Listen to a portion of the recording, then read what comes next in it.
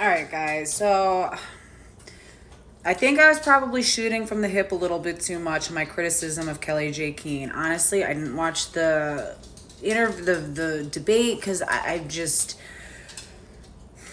it just looked like it was going to be a hug fest and I, I still don't know that i agree with going on benjamin boyce's platform and legitimizing it at a time when he's been denigrating women and championing this clearly dangerous and unhinged individual and uh, and is now associated with is a part of GenSpect. He's part of the media arm of GenSpect, who I, I think is absolutely dangerous to everything that we're doing and everything that we stand for. What she was doing. Well, yeah, so did I. Well, do you need to do this? Do you have to do that? Do you have to do it now? Can't you wait a few years? Can't you wait till the children have left home? Because I'm not sure now. Again, forgive me if I'm but uh, are you a lesbian couple now, or are you?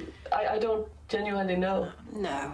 Um, I I think I was too knee jerk, too reactionary in my criticism of Kellie-Jay Keen, so I removed the post.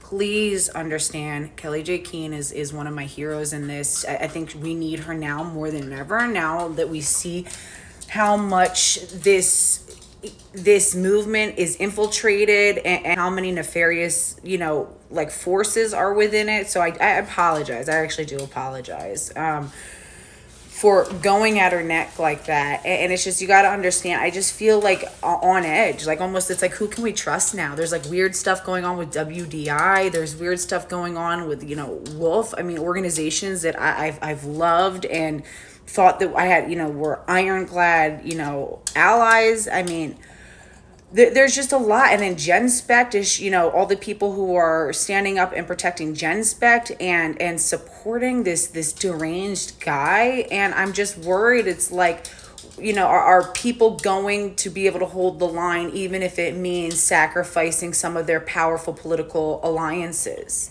you know so I, I i do apologize people are letting me know that i was wrong and i'm listening to you